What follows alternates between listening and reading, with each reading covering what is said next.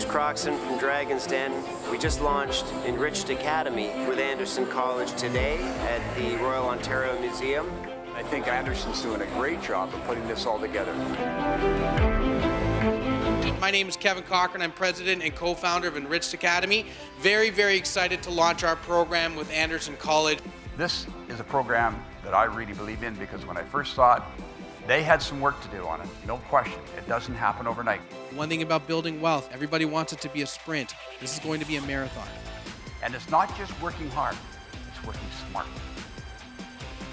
Since Jim and I agreed to endorse this company, it's been a fantastic experience. We've, I've spoken to many groups like yourself, and it's a message that has been very well received. Understand what you've got, understand where you're going to go, and get a plan. That's all it is. It's very simple. I find the career colleges to be extremely timely for the times that we're in because you're actually learning something that's highly practical.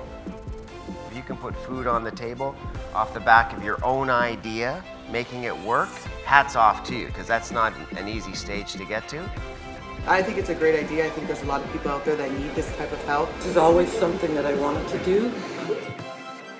By the time you get through it, you're going to be a lot further ahead fundamentally as it pertains to uh, how to manage finances than when you started. So I'm a big believer in it. I've seen it work. If you start with this program and you follow it, you'll look after your finances really well. And I think the, the faculty here has really hit it right out of the ballpark. I think they're going to do really, really well.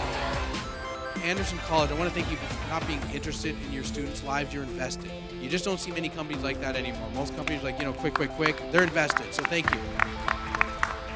We had a great day. Thanks very much.